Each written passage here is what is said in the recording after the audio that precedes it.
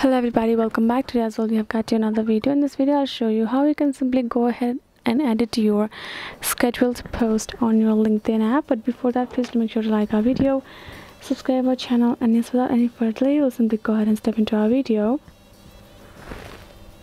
For the matter what you're going to do is simply going to go ahead first access your linkedin app right just like i have done it over here. In this profile section your home section you can find this kind of interface afterwards tap on your profile icon on top left corner tap on your profile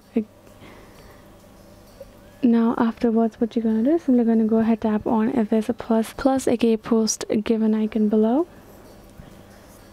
And now in this section you can find this kind of interface right? And here in this section you can see this little time icon beside this post on top. Go ahead tap on it this will let you schedule your post according to your need including date and time. And if you have added some scheduled posts you will find the option called view all scheduled post go ahead tap on that option. Now you will find all of the posts that you have added to your scheduled one and you will be able to edit them. The editing will only allow for you to reschedule the time or you can actually delete it. There is no additional edit editing for that. So you can do that like that over here. So this is it guys. I hope this video was helpful to you all. Thank you so much for watching this. I'll see you guys in our next video